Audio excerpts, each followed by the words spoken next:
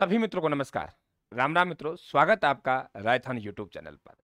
देखिए, आज जो हम लोग जिस विषय में बात करने जा रहे हैं, वे है राजस्थान के प्रमुख भामाशाह आप मित्रों कंफ्यूज होते हो कि कौन सा भामाशाह कौन सा कहलाता है, मैं अब यहाँ पूरी तरीके से क्लियर करूँगा। तो हम एक मूल भामाशाह की बात करेंगे यहाँ पे।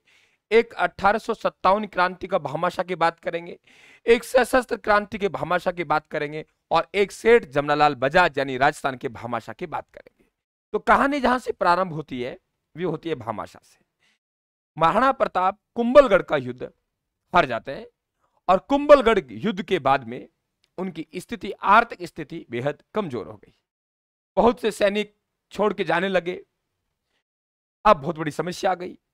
तो साहब, एक मेवाड़ का दानवीर निकल के आया, उसका नाम है भामाशाह भामाशाह ने महाराणा प्रताप को दान दिया। कर्नल जेमस्टोर ने उन्हें मेवाड़ का दानवीर या मेवाड़ का कर्ण कहा है। नोट कर लेना आप लोग, किसने कहा है? कर्नल जेमस्टोर ने कहा है। तो कर्नल जेमस्टोर ने भामाशाह को मेवाड़ का दानवीर, मेवाड़ का कर्ण कहा इतना ही नहीं, महाराणा प्रताप ने अपने प्रधानमंत्री महसानी के स्थान पर भामाशाह को अपना क्या बनाया? प्रधानमंत्री बनाया। तो उस भामाशाह जो मूल मेवाड़ में हुआ, मेवाड़ का दानवीर कहलाया, मेवाड़ का करण कहा कर्नल जेमस्टोर ने। उस भामाशाह की पदवी को बनाए रखते हुए, उनके यादगार को बनाए रखते हुए, उनके दानवीर की पहचान रखने के लिए जो भी कोई दान दाता होता है, हम उससे समाज में क्या कहते हैं? भामाशाह कहते हैं। हाँ बिल्कुल, जी हाँ क्या कहेंगे? भामाशाह कहेंगे। अब साहब, अमरचंद बांठिया हुआ। एक एक कहानी सुनते जाना आप लोग। अमरचंद बांठिया हुआ। अमरचंद बांठिया का जन्म सत्रह सौ तिरानवे में, अठारह सौ सत्रह सौ तिरानवे बीकानेर में होता है। ये अपने पिता के साथ ग्वालियर चल जाते हैं। और ग्वालियर में व्यवसाय करते हैं। जब ग्वालियर में व्यवसाय करते हैं तो इन्हें वहाँ नगर सेठ के नाम से जाने जाने लगा। मेरे मित्रों, अठारह सत्तावन क्रांति होती है। अठारह सत्तावन क्रांति में झांसी की रानी और अन्य क्रांतिवीर है, उनकी मदद करते हैं अमरचंद बांठिया अंग्रेज़ों को यह बात पसंद नहीं आती। है राजस्थान वासी क्योंकि बीकानेर का है। साफ़ फांसी दे दी।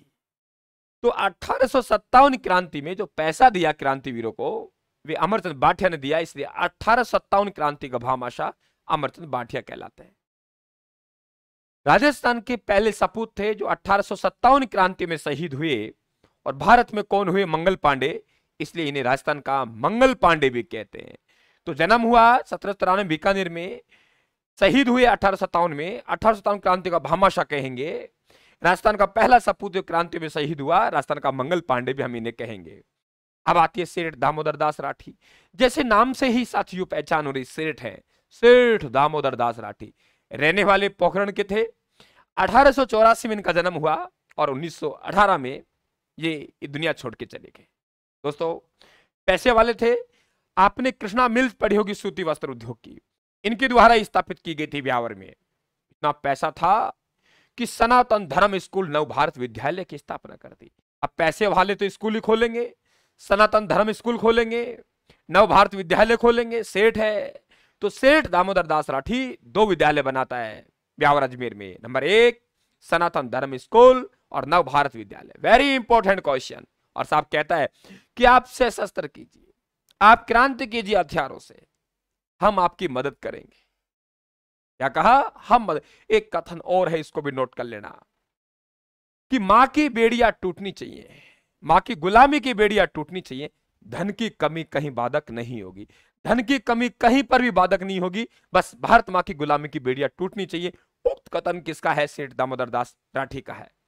तो इन्हें सशस्त्र क्रांति का भामाशा कहते हैं। आइए आपको परिचय करवाते हैं सेठ जमनालाल बजाज से। दोस्तों, ये सेठ जमनालाल बजाज आपको दिखाई दे रहा है।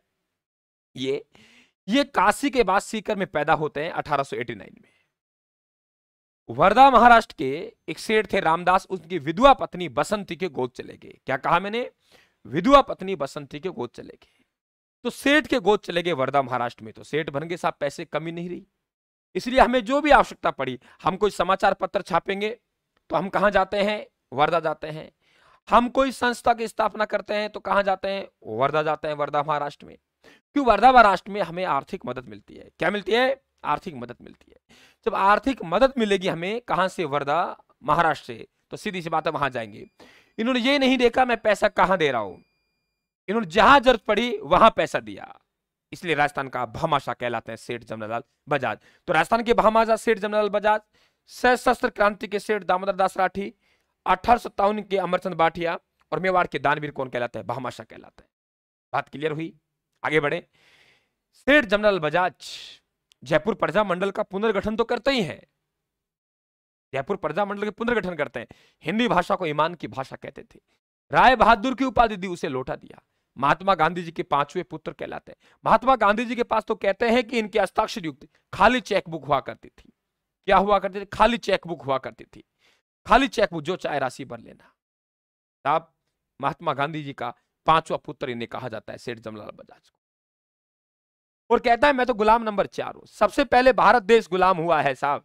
दूसरे नंबर पर रियासत गुलाम हुई, तीसरे पे सीकर गुलाम हुई, मैं सबसे लास्ट में गुलाम हुआ। तो इन्हें गुलाम नंबर हम लोग चार भी कहते हैं। इन्होंने एक नारा भी लगाया था।